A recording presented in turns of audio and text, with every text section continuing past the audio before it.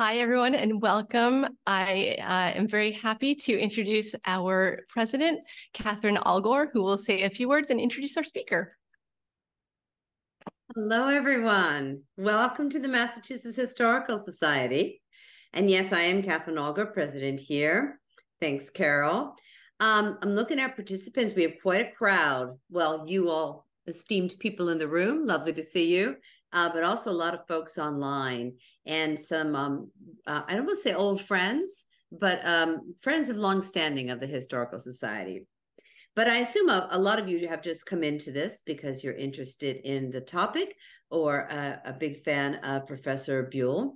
Uh, so maybe you don't know who we are. And we are the Massachusetts Historical Society, the very first historical society in the Northern Hemisphere.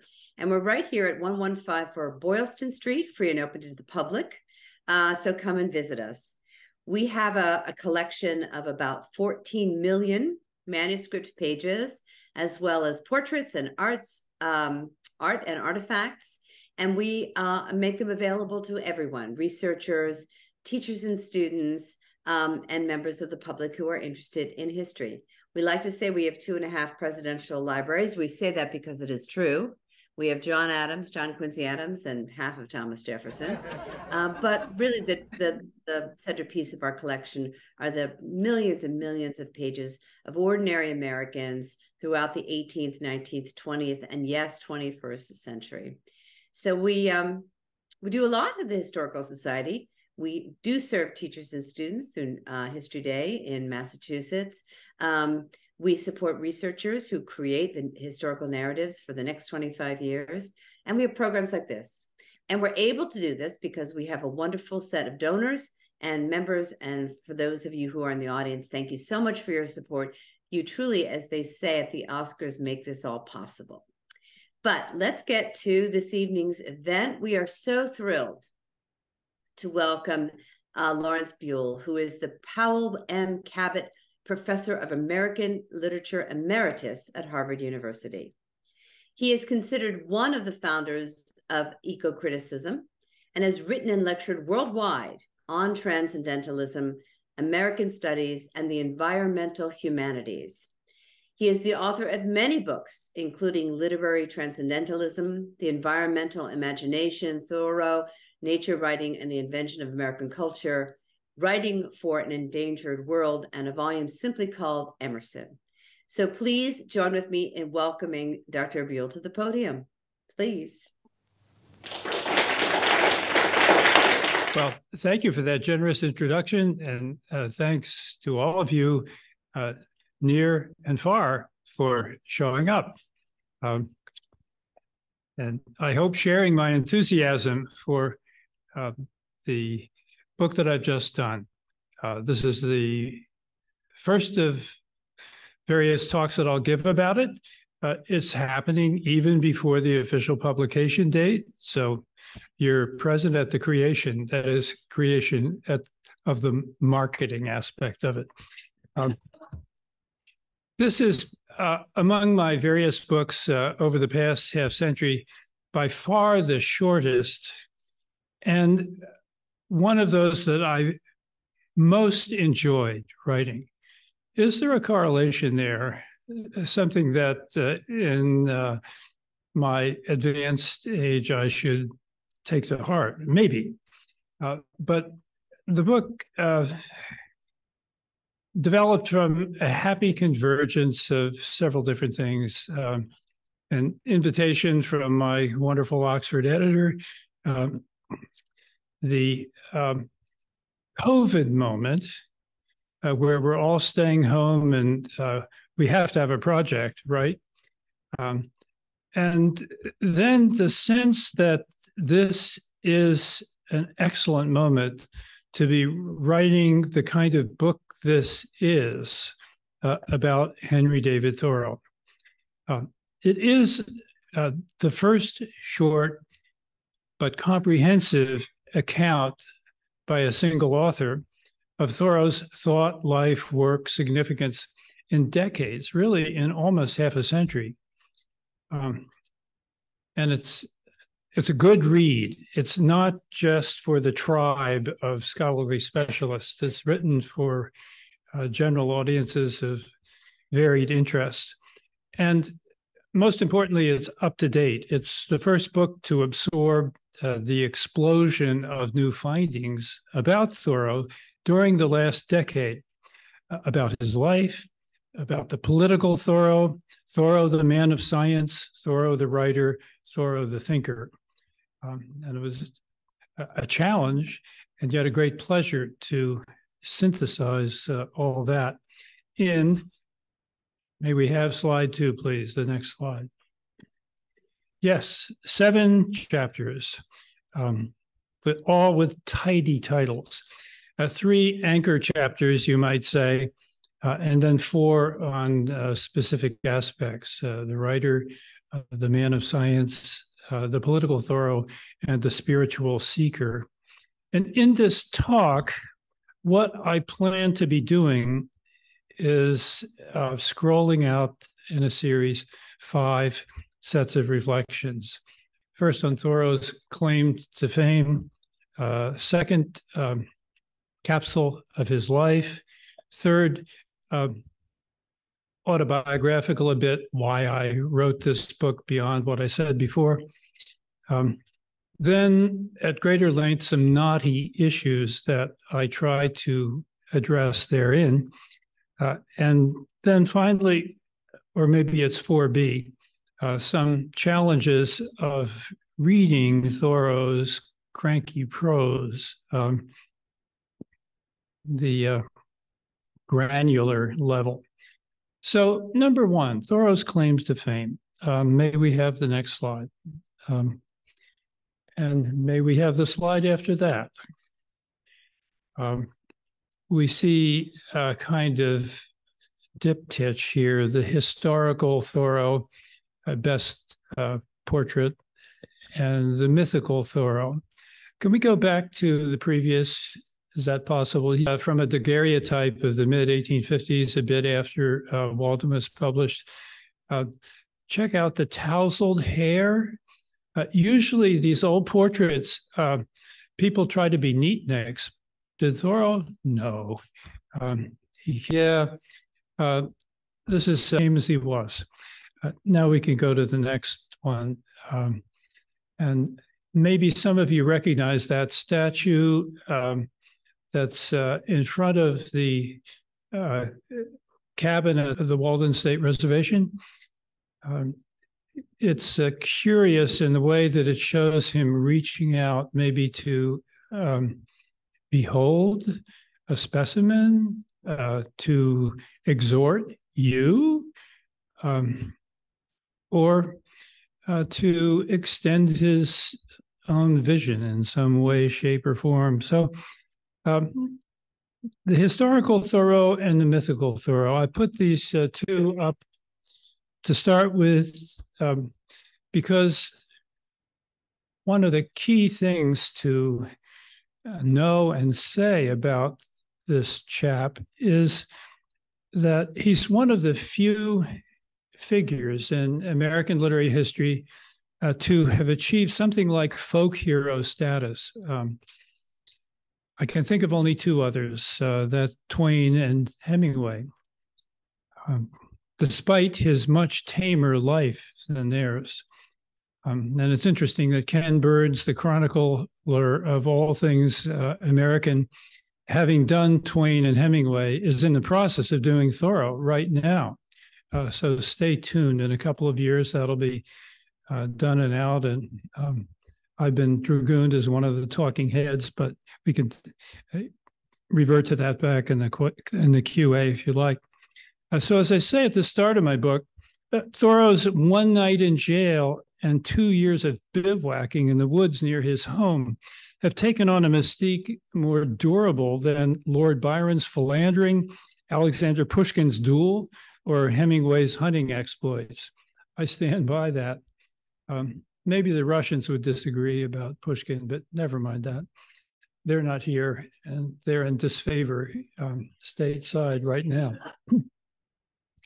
So the witness to that would be the multiple legacies, the multiple lines of influence or impact that Thoreau has exercised over the years. Um, he's uh, an icon of voluntary simplicity. Uh, next slide, please. Um, his sister Sophia uh, sketched this uh, very nice image for the title page of Walden. Um, and uh, if we go to the next slide, please, uh, we see the cabin replica that's um, just a little in back of the uh, statue that was shown before. Um, so the icon of voluntary simplicity lifestyle, um, the iconic civil disobedient. Next slide, please. Um, of Gandhi at his spinning wheel. Um, Thoreau helped ignite Gandhi in the, the, late 1800s, and I like this image, uh, even though it's sort of dorky, um, because it uh, shows the voluntary simplicity side of Gandhi, as well as in a low key, the protest side of Gandhi. Spinning homespun was contrary to um, imperial policy. Um, Indians were supposed to supply uh, the mother country with raw material and then buy the products. Uh, but this is pushing back from that.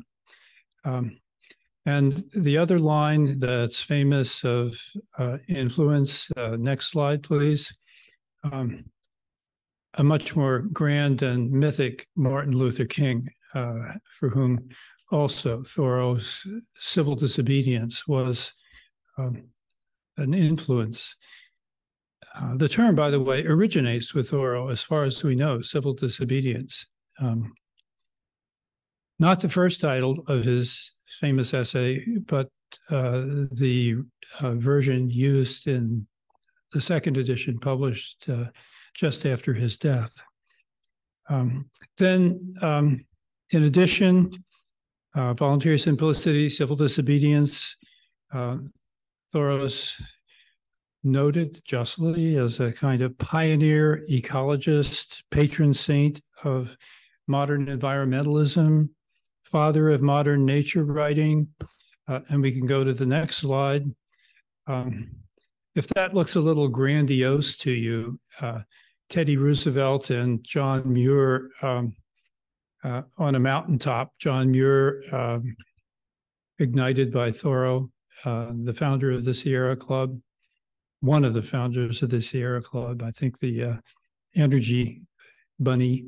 Um, then take the next slide and we see uh, Aldo Leopold and his uh, family, uh, conservation biologist of uh, the mid 20th century, uh, in front of their shack, um, a recouped chicken coop uh, on a patch of abused Wisconsin land that he helped to bring back and um, make famous in Sand County Almanac. Uh, Leopold's mother gave him um, the complete uh, Thoreau journals as a graduation present from college. And uh, it isn't as if that's uh, the only thing that got Leopold started on his path, but it's um, connective tissue, uh, nice, um, more than coincidence of cultural history. Then beyond that, uh, Thoreau's known as an iconic spiritual seeker, one of the early folk uh, who might be called spiritual, not religious, which some say is the um, communist persuasion of folk today. Um, I've uh, given talks uh, about Thoreau, other aspects where I've been sternly corrected um, by somebody in the audience that says, you're all wet. Really, uh, the key thing about Thoreau was that he was a yogi or a sage or a guru. Um, and that he was or has been is for some people and finally um, and maybe uh, most famously for uh, academic types uh, thoreau is like one of the catalysts behind american literary emergence in the mid 19th century. The generation or generations, along with Emerson, Emily Dickinson, um, Melville, Hawthorne, uh, that uh, riveted first the attention of uh, the important the attention to the importance of American writing abroad. Um, so, how did all this happen? How did he do it? Well, uh, that's a complicated story, and you have to read my book in order to get the um, the gist uh, fully. But uh, clearly, the power to embody and dramatize action from principle uh, in uh, the books that most made him famous, Civil Disobedience and Walden. Uh, the power to dramatize the difference that small steps can take. Um, and above all, and that's kind of uh, drawing a ring around what I just said, the power of the pen, word power. Um, uh, best biographer, Laura Dassow Walls, puts it very well, I think, eloquently, uh, when she's writing about uh, Thoreau's uh, passionate defense of John Brown, um, the um, uh, guerrilla warrior who um, after his failed Harper's Ferry raid, um, uh, really uh, ignited, uh, helped ignite the Civil War. She writes John Brown's sword was impressive, but without the word, it was just a sword. And she has in mind um, the power of the word, of course, like Thoreau's. So that's a kind of overview of uh, the lines of um, of fame, significance, accomplishment. Um, and we go to part two now. Uh, a quickie biographical cameo for those uh, of you who would welcome that. Uh, I'm sure some of this will be familiar to you already. But uh, Thoreau's born in 1817, just as the uh, War of 1812 ends, and uh, just uh, in the middle of the year without a summer. Um, that aberrant time caused by an Indonesian um, volcano exploding that was very hard on folks in the Northeast and throughout the Midwest. Born in Concord, uh, then a small town under 2,000, but uh, in the process of being absorbed, soon to be absorbed uh, into Metro Boston during his lifetime. Um, with urbanization and industrial revolution. Uh, that story is best told by um, Robert Gross in his recent book, The Transcendentalists and Their World, um, which uh, tells you everything that you need to know about Concord history. Uh, believe me. Um, Thoreau's family was part of this. Um, the family had uh, a home industry, a pencil making business that flourished and morphed according to uh, this techno history that I've referenced, um, from making pencils to graphite processing for um, new modes of uh, mass printing production, and prospered. And Henry helped out by um, making a discovery about graphite processing that uh, gave the family uh, an edge.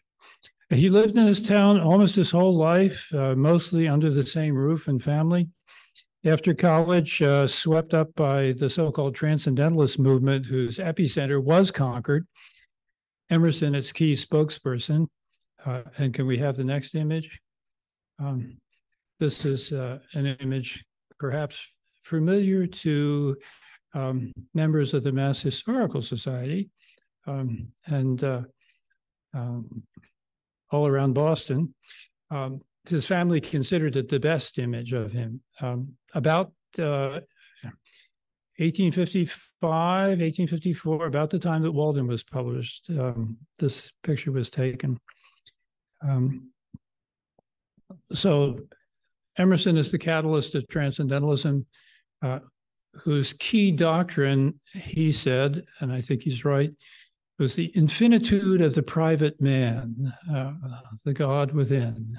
Um, And Thoreau took that on and took much else on from Emerson too. Um, Thoreau rejected a conventional career to become a freelance writer of iconoclastic essays and irreverent narratives of foraging around the New England region. Died early of the family curse of TB, um, with most of his work, alas, unfinished. Um, and at that point, typed still as an Emerson clone, an Emerson disciple. Um, Emerson's friend Oliver Wendell Holmes, the novelist and uh, Harvard Medical School professor and head, uh, said of Thoreau, um, he nibbled his asparagus at the wrong end. Um, right. Um, and you can see uh, that uh, initial uh, difference frozen in stone. Next slide, please.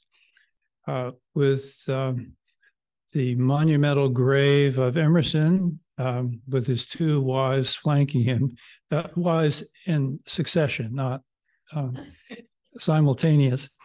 Uh, and then, next slide, please. Henry's mark.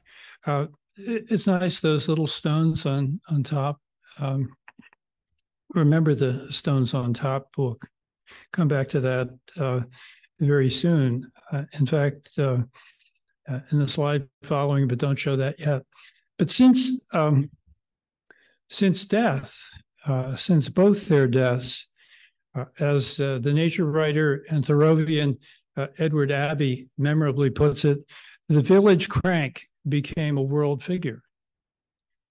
And to the point of eclipsing uh, Emerson's reputation uh, and um, interest value uh, for the wider public, um, the wider world public uh, within the past uh, quarter century, if not further.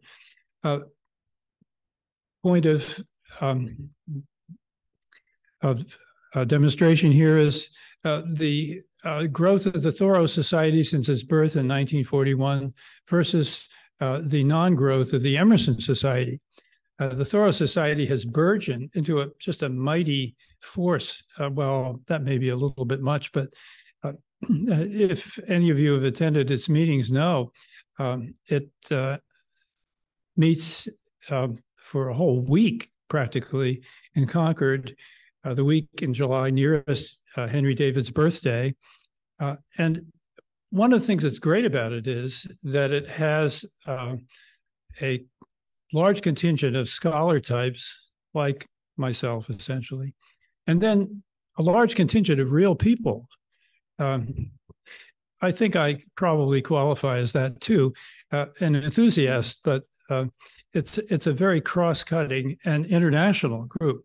Uh, the Emerson Society is anemic by comparison, much underfunded, and um, is hard put to do much of anything except occasionally meet in um, an upper room.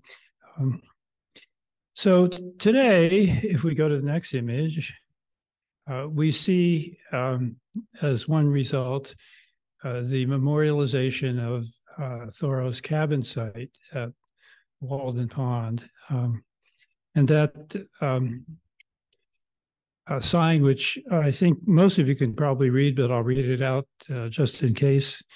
Uh, I went to the woods because I wished to live deliberately, to front only the essential facts of life, and see if I could not learn what it had to teach, and not, when I came to die, discover that I had not lived. Uh, that's uh, from where I lived and what I lived for. That second chapter of Walden, a kind of credo chapter of Walden, where uh, he lays out the inner and, as it were, spiritual reasons for what he did, as opposed to the uh, economic underpinnings of the experiment. Um, if we can go to the next slide, uh, that's the uh, verse view, um, looking from uh, the hut site, the cabin site, to the um, pond itself uh, with the cairn of stones uh, that have been left by devotees. actually, uh, it's a sort of pseudo cairn in a way uh, that started getting piled up, oh, in the 1800s. And it's been taken away at least once in a misguided kind of rural renewal sort of uh, cleanup effort, and then brought back a bunch of stones brought back uh, for rubble. And now people are still adding to it today. Uh, if you haven't, take the opportunity the next time you go to Walden Pond. Those of you who live near enough to to go. Uh, so now, a third section, um, just a bit about uh, why I wrote uh, the book. In addition to what I said before, um, I had a sense of unfinished business uh, about Thoreau. Um, as a figure who has interested me deeply since youth. Um, but uh, I never felt that I had satisfactorily figured out. Uh, I'd always been drawn to um, writing uh, and thinking on the borderlands of literature, philosophy, religion, and social thought, intellectual prose, you might say. And so the transcendentalists, um, especially Emerson and Thoreau, were on my radar screen early. Country boyhood helped. Uh, a, a, place which, like Concord, was in the process of suburban encroachment. Youthful cantankerousness helped. Um, maybe it was in my blood.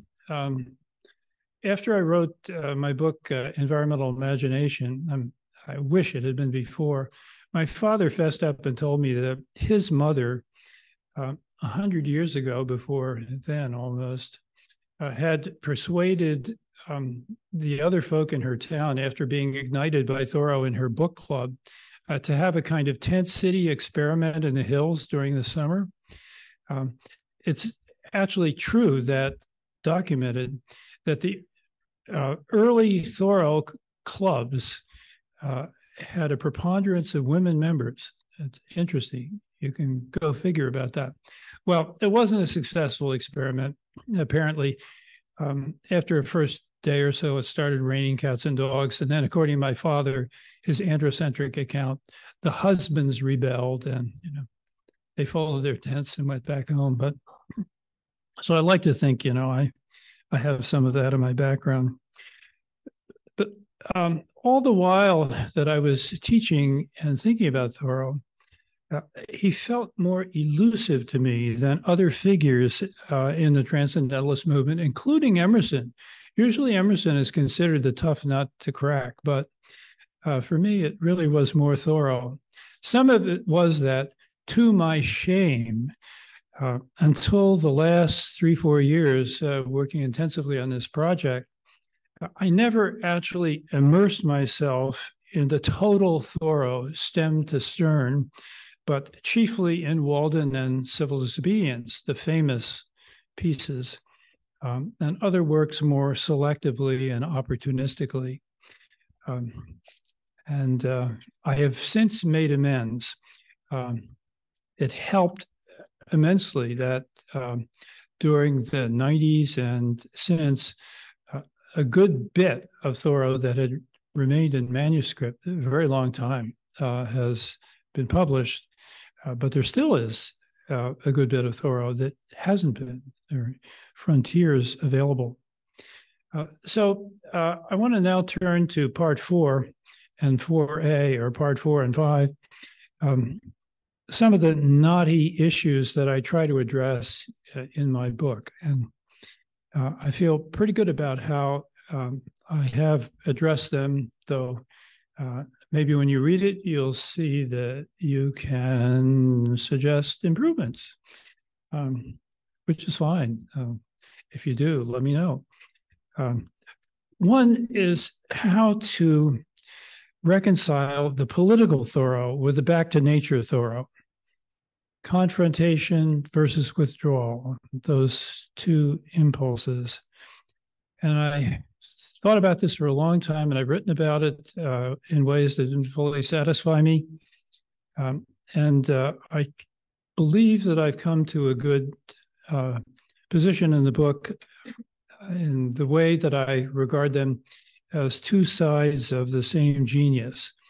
Uh, chapter six on the political Thoreau and chapter two that I modestly call essential Thoreau that's wound around uh, civil disobedience and Walden, those two famous texts. Um, they were the first to be written, uh, and uh, I felt uh, it was important to have done that before doing anything else. And what I felt I discovered for myself was um, that resistance um, for Thoreau really involves those two faces at the same time, involves confrontation and withdrawal at the same time. You resist from the position of disengagement from the state, really. Um, and beyond that, uh, all these surprising uh, hooks between those two great pieces that are often published together and taught together, but rarely discussed together. Um, both showcase the solitary just person opposing the warped social order. Both stress the necessity of freedom from material entanglements. Uh, the uh, uh, voluntary simplicity ethic uh, for um, Walden is really uh, presumed for the civil disobedient as well. Less baggage, more likely that you will have the freedom to resist. Uh, and then the um, commitment to the idea of personal experience as paradigmatic, um, the will to transform personal memoir into myth in some way, um, that they share and not just those two. Um, with civil disobedience, Thoreau casts himself as a kind of latter day Antigone, uh, resisting. Um, she resisted Creon. He's resisting uh, the powers that be uh, that have brought us uh, institutionalized slavery in the Mexican War. Um, and in um, Walden, uh, a bunch of um, myths uh, superimposed on each other or coexisting. Thoreau as a archetypal backyard homesteader, do-it-yourselfer, um, hermit, recluse, sage. Um, uh, whether you look at it as Eastern or Western. Um, in this way, uh, small deeds, and when you consider a single night in jail or two years of semi camping in the woods, they're small, but magnifying them um, in reflection as to the importance of their stakes in the inward life and potentially the um, life of um, the society around you if you're um, noticed and have impact. So that was one um, dimension that I worked on very hard and I felt pretty good about. Uh, then how to reconcile, if they can be, the poetic Thoreau and the scientific Thoreau, um, the quant and the qual. Um, and I had this intuition that the quantitative Thoreau was inseparable from the qualitative Thoreau, despite the tension between them, on which Thoreau often remarked, and on which my tribe of lit study scholars uh, tends to seize and say, oh, yeah, um, surveying was just a day job for him. He didn't invest himself that much in it. Um, or uh, science was something that he did uh, uh, with uh, his uh, breath held or his hands over his nose. Um, he wanted to do it in an old naturalist style way and not in a a new style man of science uh, empirical research way. Um, there's a famous journal entry that uh, Thoreau um, scribbles from the 1850s where the American Academy for the Advancement of Science uh, sends him a form and asks him um, to fill out uh, this questionnaire, including what branch of science are you especially interested in? And Thoreau huffs about this in his journal, and he said, uh, I could only speak to this low um, mentality that they could understand. And um, come to think of it, I should have told him that I was a transcendentalist, a mystic, and a natural philosopher to boot. Uh, just saying that I was a transcendentalist, that would be enough to tell them they wouldn't understand the kind of work that I do. Right. but he did fill out the questionnaire dutifully. And he uh, said what his special branch of uh, scientific interest was um, the uh, Algonquin peoples before the advent of civilized man, um, ethnography, in other words. And that was true to what he had done so far in uh, empirical research. He'd filled half a dozen notebooks with entries on that. He didn't continue. He moved over towards botany and geology, and especially forest science. Uh, but um, it was uh, it was an authentic representation of uh, the empirical side of Thoreau, and conversely, uh, you can see Thoreau being very um, particular uh, about facts and um, precise in measuring his words um, and talking about matters of aesthetic in his journal, especially. Um, one said that uh, you can't really um, appreciate um, a landscape uh, without uh, a botanical eye. That's very interesting. Uh, only the botanist uh, can really do it.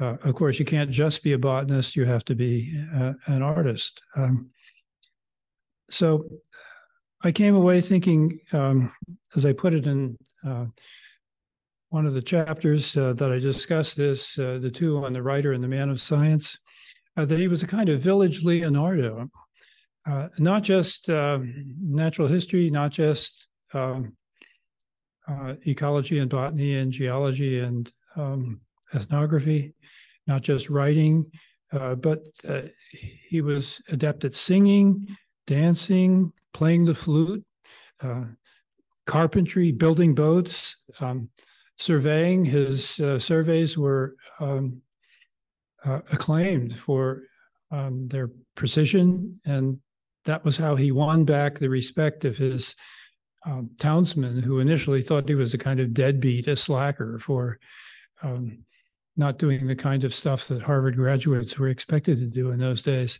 Oh, could we have uh, the next slide, please? Whoops, my, my, my. Uh, I see that I have omitted a slide.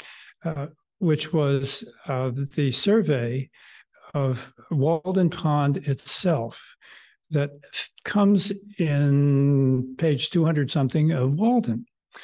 And um, literary scholars have often wondered what the heck is it doing there? Well, um, the obvious answer is uh, that it relates to uh, a complicated uh, philosophic shtick that uh, happens in this chapter, The Pond in Winter, where he uh, seizes on the mathematical fact that the line of greatest breadth intersects with the line of greatest length at the at the point of greatest depth in the pond, and goes on about how this really is a rule of character, human character, as well as of um, limnology, uh, water bodies, and the like. Uh, but he's also advertising his new um, trade, uh, which he is rolling out at the very time that he's uh, writing Walden, and he's very proud of uh, what he's done. So um, you can't separate those two sides. Um, so the other thing that I want to mention it, that I worked on hard was um, the question of the Thoreau Emerson relationship. How could a disciple live in the master's shadow his whole life and yet become a major figure in his own right, eclipsing the master. Um, that's the core of that third chapter on Thoreau on transcendentalism and other backgrounds. Um, it's a really remarkable historical fact.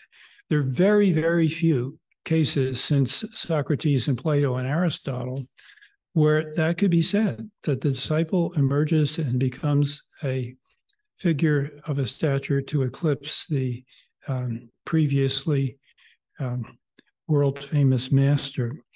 Um, part of the story that um, I think is pertinent here, I've told in a previous book on Emerson, the last chapter on Emerson as anti mentor, I call it. Uh, Emerson was a permissive, mentor. So he gave slack to this slacker and um, was willing uh, to have his uh, benevolent hand bitten by Thoreau um, uh, and have Thoreau go his own way. But um, the other part of it is Thoreau's capacity for thinking disobediently. If he hadn't been a kind of refractory guy to begin with, that never would have been possible. He never would have been able to put that kind of distance between himself and Emerson. There's more to this story. Read the book and you'll see the more. Um, I'm going to skip very quickly through 4B or 5, um, the granular part, uh, some of the challenges of reading Thoreau, and simply say this.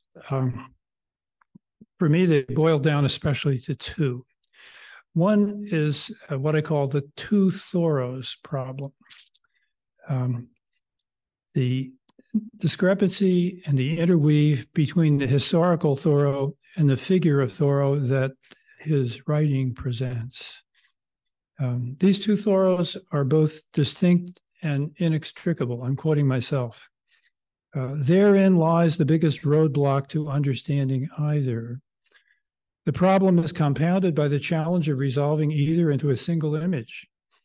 The biographical Thoreau is a more than ordinarily paradoxical creature whose personality is as much disguised as revealed by the wealth of documentation, including the two million word journal that he kept. Um, so Thoreau watchers are repeatedly tempted to the extremes of premature closure or dithering equivocation. I like that premature closure or dithering equivocation. Uh, nor does the first person voice in Thoreau's writing stand still. It oscillates between forthright and elusive, confidential and standoffish, lyric and sarcastic, polemical and ruminative, serious and sly. Um, it's tricky, tricky, tricky to read Thoreau. Um, I think that uh, passing over what else I might quote by myself and by him uh, to my last cruncher points, uh, what Thoreau's writing says to us, to you. Um, beneath the surface, not always overtly. My thoughts are more complicated than my emphatic pronouncements. Thoreau is always one for emphatic pronouncements, and I, I love some of them. They're much beloved, collected by oh, uh, scholars and greeting card manufacturers both. Um, um, beware of all enterprises that require new clothes. That's one that I love. Um, Never mind the rest. Uh, you will have your own list. My thoughts are more complicated than my pronouncements. Take me seriously, but not too literal mindedly, not too solemnly either. Um, or I'll evade your clutches. And then don't just follow me, use me to find your own way. Those really are the um, crystallizations, my words, not his, of the spirit behind the prose, and in no small measure, I think, account for the durability of it. And in that spirit, uh, I try to write my book. Um, and uh, I hope that uh, if you're tempted to look at it yourselves, you'll be ignited by uh, the same enthusiasm that brought me to it and kept me through it and still lingers. By George, uh, even though I'm almost twice as old as Henry David was when he prematurely kicked the bucket. Um, so, last uh, image or two, please. Um, and the next one Walden Pilgrims on a Summer Morning.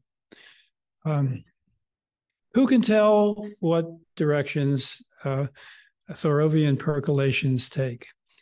Those Walden bathers, most of them, they don't give a hoot about Thoreau. They just come to refresh themselves. But they couldn't do it at Walden if it weren't for Henry. Um, because he loitered there uh, and made it classic ground. Um, the park happened because the park happened. There it is, uh, one of the greatest, bo- uh, one of the best bodies of fresh water accessible to a metropolis, and people use it, and they should. Um, and uh, so should we all. I, I hope that uh, one impact of this talk is to get everyone who's proximate to rush out to Walden, uh, ideally on a wretched weather day, so you can have the place yourself. So, thank you for listening.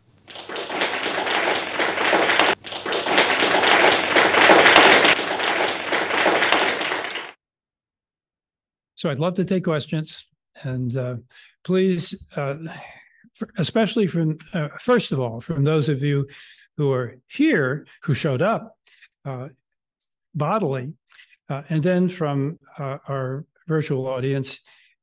And I hope that you won't be shy. Um, everybody owns Henry David Thoreau, not just the experts, please. um, My astronomer colleague, yes. Okay, I was just going to say, ask about the the travel books of Thoreau, um, the Merrimack, the Cape Cod, and Maine, and they're from the journals, I assume, basically that they start out, but there's obviously a different kind of writing going on in those which seem much more accessible. Um, maybe because they're telling stories and the journal's not exactly doing that. But um, I'd like your thoughts on that. Yeah, I draw a distinction between A Week in the Concord and Merrimack Rivers, his first book, and then uh, Maine Woods and Cape Cod. Um, a Week um, is uh, cobbled together pretty much only a little differently from Walden in the sense that it it it does it has um, a, a, mini journal that starts it, uh, but very very sketchy, and there's a lot of backfilling of the narrative, and then infilling of uh, a lot of essays that Thoreau wrote. Uh, so it's a loose and baggy monster, but a wonderful loose and baggy monster. Uh, it does uh, uh, fulfill, I think, the travel narrative um, template, uh, but differently from Cape Cod and Maine Woods, which follow um, uh, narrative material that Thoreau got up uh, from the four trips to Cape Cod and three trips to Maine. So there's more linear momentum in the two uh, later travel narratives, um, Maine Woods and Cape Cod. Um, most folk um, you must be a hero reader, but most folk find uh, a week uh, somewhat hard going, uh, a challenge. Uh, the other two, uh, they become classics uh, of early write ups of their respective regions, and for very good reason, I think. Um, I could say more, but let's go on and, and we can circle back to that. Yes, sir. Yeah, I teach at a public university in Texas, and I usually do uh, freshman courses in history. And when I teach Walden, I'm surprised both by very few of my students who have read Walden. It doesn't seem to be assigned in high schools, at least in this region much. And as well as how hard the students take walden. They, they have a hard time grasping it and they they they just don't really attach to it which depresses me. But then a few weeks later when we get to the discussing the 1840s and 1850s in my class and they read civil disobedience their eyes light up. And that that's the text that they find more attachment to how do you see the the image of thoreau evolving in society like do you think the thoreau of now is very differently understood than the thoreau of you know 20 30 whatever years ago and what type of thoreau do you think is going to be seen as enchanting to students and general readers in the future? Well, on the last, academics are terrible prophets. You know, we do much better with hindsight.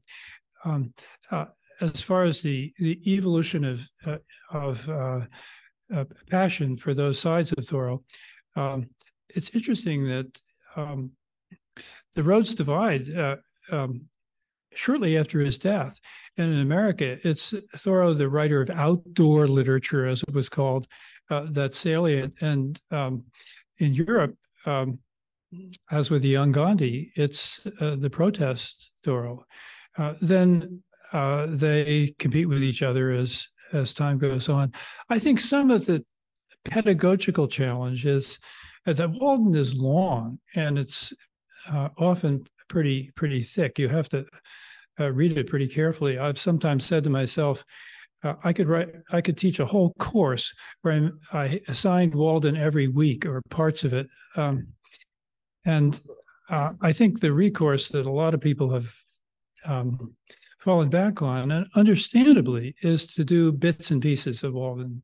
Um, and um, maybe if you find your clients' uh, eyes glazing over quickly, um, you could you could try some some ch- a chapter, some passages, something like that.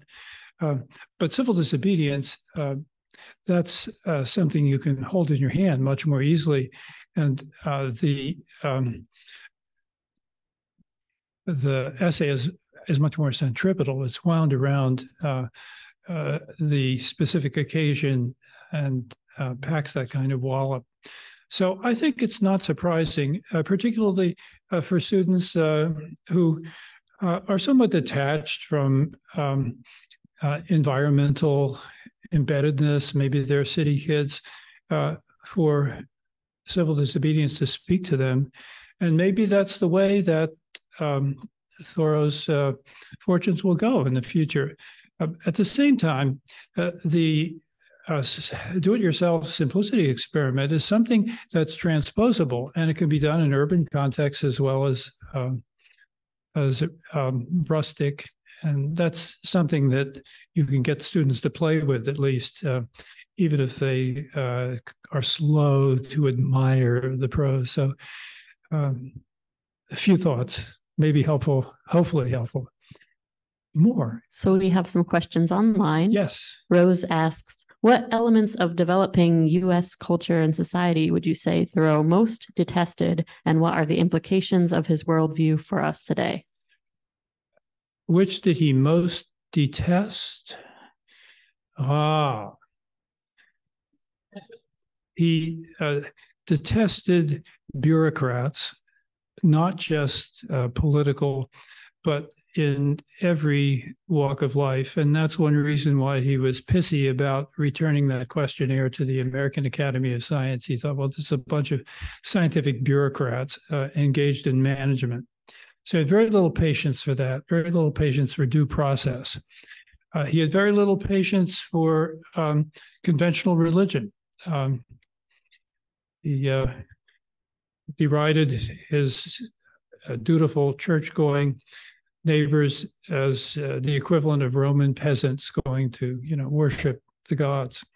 Um, he had little patience for slackers, even though he himself was called a slacker, uh, but for people who didn't show up on time when they promised, um, he had little patience for um, those who he considered uh, spoke in bad faith. You know, they uh, were one thing and pretended to be another. They said one thing but meant another. Uh, oh, hypocrisy was uh, anathema to him. If you want to get um, a short form version of Thoreau's pet peeves, uh, there's no better place to go than the late essay called Life Without Principle that he delivered with uh, uh, he delivered as a lecture and then it was published after his death. But those those are some of the examples. Now I have I've lost sight of um, what else uh, is in that question, which is um, the uh, use value of Thoreau today. Uh, well, all right, I'll just uh, kind of reference everything that I just said and say that everything that I just said uh, I think holds maybe holds in an accentuated way for public culture today. Um, so maybe you don't want to go back to Thoreau uh, and fast forward him uh, to uh, address political mendacity, um, greed, um, hypocrisy in any venue, um, the uh, stark discrepancy between rich and poor, um, but you could. You could enlist Thoreau in any of those um, causes to very good effect, I think. So, more. Uh, any other questions? I hope. Nobody Yes. should be shy. Uh, nobody should hide, if even if you're online. So Andrea asks, uh, says the title of the book includes thinking disobediently. Could you say more about your use of the word disobedient? Yes. Um, I can start with um, something that Emerson said about Thoreau in uh, his memorable uh, funeral address.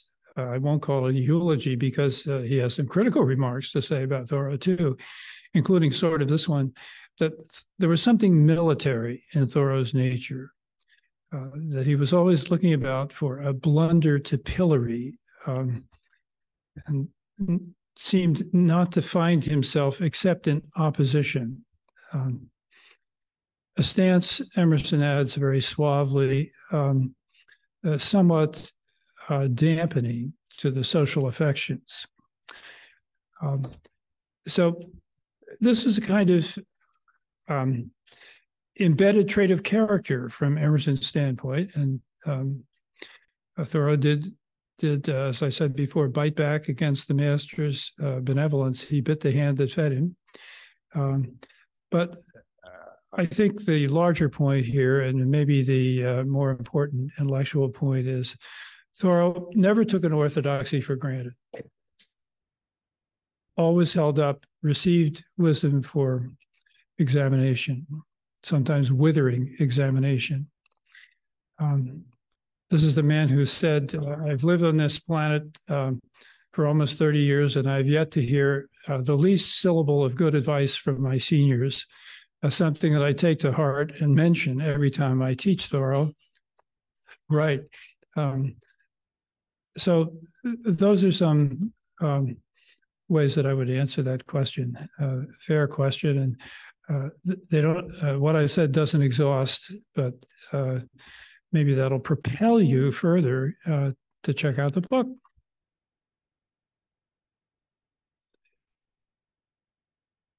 I heard the bell. Does that mean Thoreau says in, in Walden, if the bell rings, why should we run? He's uh, referring to factory bells, uh, you know, the noon hour, and and then you have to show up at eight o'clock or six o'clock, whatever. Uh, but yes, uh, it's a decorous bell, and There are no further questions, and I would like to thank you very much for a fascinating talk thank Uh, you. and welcome folks in the room to head downstairs and buy a book.